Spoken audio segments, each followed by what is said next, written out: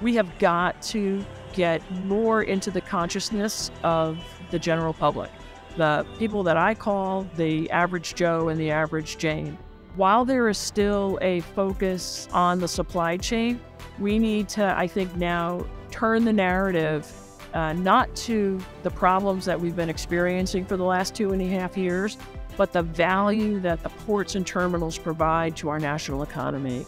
We cannot survive one day without the stuff that the ports provide to every person in the United States.